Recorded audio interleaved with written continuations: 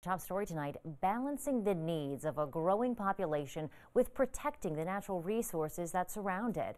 The city of Dripping Springs just got the okay from the Texas Commission on Environmental Quality to dump more than 800,000 gallons of treated wastewater into Onion Creek every day.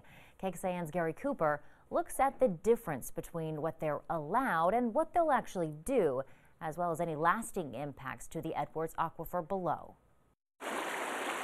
The waters of Onion Creek are as clear as glass, and the Greater Edwards Aquifer Alliance wants to keep it that way. We're kind of putting in peril the whole hill country. The city of Dripping Springs applied for and got that state permit to discharge wastewater into the creek.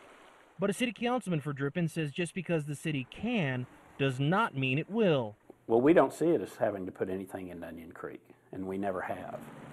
When you have a discharge permit, it's much easier to do what's called beneficial reuse. And that's what we've said all along that that's what we wanted to do. That reuse would water things like city parks, golf courses, and road medians, complicating things other cities in the Hill Country might follow suit. Blanco, Texas has applied for similar permits. Wimberley is looking to expand its wastewater options as well.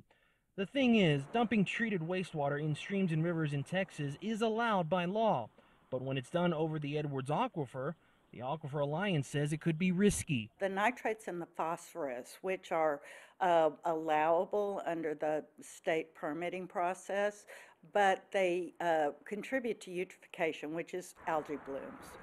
Unmetabolized drugs or personal care products, things that would be in the wastewater stream, and they would only be found in the wastewater stream. They're not. And the impact goes beyond the immediate area. The Aquifer Alliance says science has proven when things are dumped into the Blanco River, for instance, they could end up in Barton Springs and maybe even into our drinking water. We want to do it right. We're hoping what we have done has set up a way to move forward for other cities so they can see it is possible to do this without damaging the environment. With any luck, this water bottle is the dirtiest these streams and rivers will be.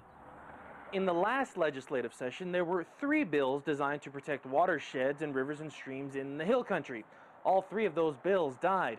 This legislative session, the Alliance tells me there's only one bill designed to protect one river, and that's the Nueces River in South Texas. In Dripping Springs, Gary Cooper, KXAN News. The city of Austin has two major wastewater treatment plants, Walnut Creek and South Austin Regional. Austin Water says both plants get wastewater from the sanitary sewer system and treat it. Then they release it into the Colorado River.